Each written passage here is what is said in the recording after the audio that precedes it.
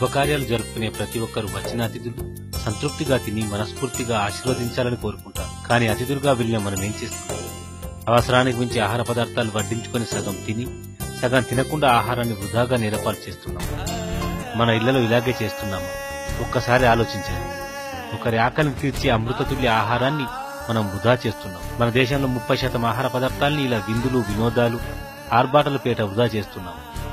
ఈ వృధాని ఆదా చేయగలిగితే దాదాపు మన దేశంలోని పేదలందరి ఆకలిని తీర్చవచ్చు. శుభకార్యాలు జరుపుకునే వారికి మదో చిన్న మనవి. మీ వద్ద ఆహార పదార్థాలు మిగిలిపోతే వాటిని అన్నార్థులకు చేర్చేందుకు అన్ని చోట్ల స్వచ్ఛంద సంస్థలు అందుబాటులో ఉన్నాయి. దయచేసి వారికి సమాచారం ఇచ్చి మీ వంతుగా కొందరి ఆకలైనా తీర్చండి. మీ మధు మూవీ టీవీ.